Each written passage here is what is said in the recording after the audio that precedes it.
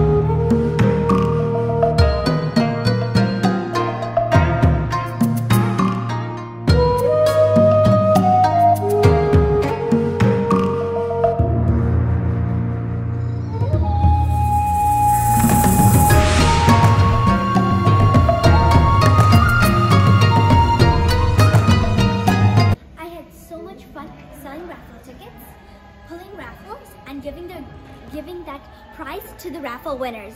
This was so much fun. Can't wait to come back next year.